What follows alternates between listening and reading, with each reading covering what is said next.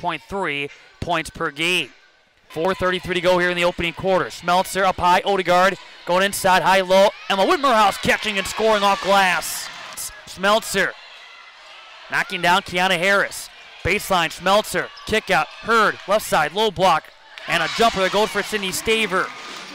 So wild shots taken on both ends. That time forcing the issue as Staver goes to her left now, drive finds an opening layup, banks on in for Sydney. Staver found an opening, able to score, she has six.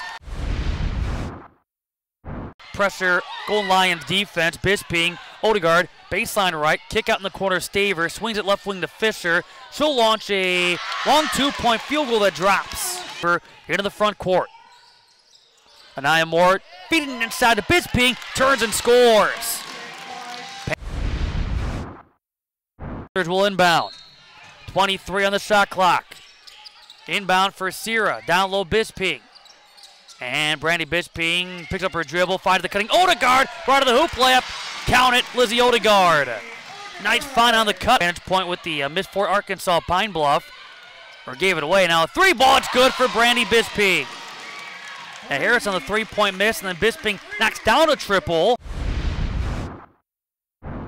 Who supposedly have played for Arkansas Pine Bluff have scored.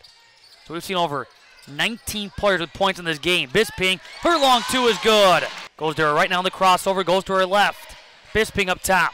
Inside Odegaard, turning, shooting, scoring off glass. Spun to her left, scores two. Odegaard has nine. Up, up top, Sydney Staver. And Staver backs off. Goes to her right, now drives to the bucket, layup off glass with one hand. Goes for a new career high of 16 for Sydney Staver.